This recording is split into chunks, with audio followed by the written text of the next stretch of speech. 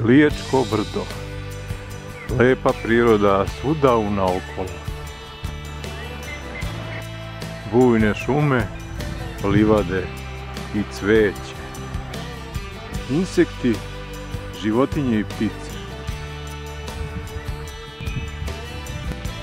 A tik pored puta koji vodi uz brdo jedno sasvim neobično mesto. Ljubavno parkiralište. Mesto gdje se sastaju i stari i mlađi. Svi koji koriste moto živi pa se snađi. Ušuškano u žbunju privatnost pruža. U skrovištu od divljih kupina i ruža. Krcato noću i u sred bela dana, jer ljubav svima životna je hrana. Putniče namerniče, prođi ti bez straha, kada čuješ mnoštvo ljubavnih uzdaha.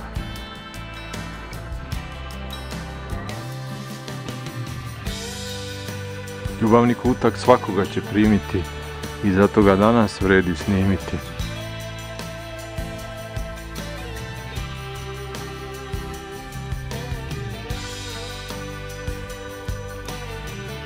Prolazniče, nek tvoj hod ljubavnike ne omete, jer ljubav je pokretač vasione i planete.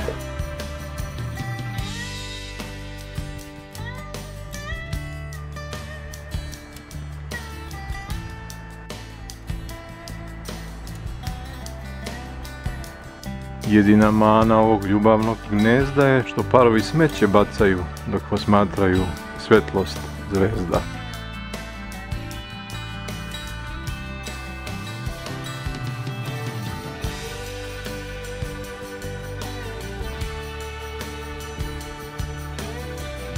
Ostaje pusta ljubavna oaza, dok ljubavnik je ovdje opet ne nanese stazu.